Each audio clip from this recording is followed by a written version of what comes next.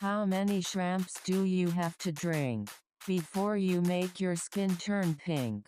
Drink too much and you'll get nausea. Shrimps are pretty rich. Do do do do do do do do do do do do.